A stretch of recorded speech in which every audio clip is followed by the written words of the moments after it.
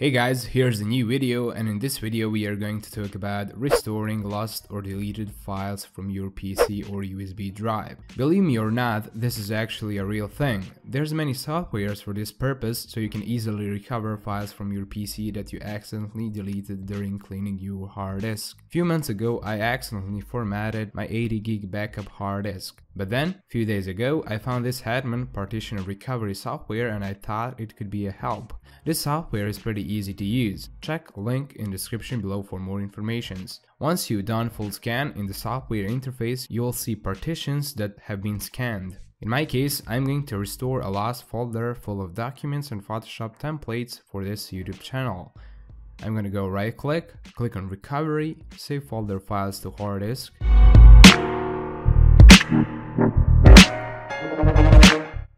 Wait until restoring is done. Once restoring is done, you will get your restored files.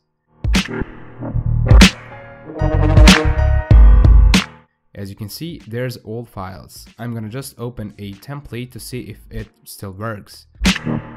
And it still works, so if you want to try this software for yourself, check link in description below. There's a download link too. Leave a like and subscribe and have a nice day.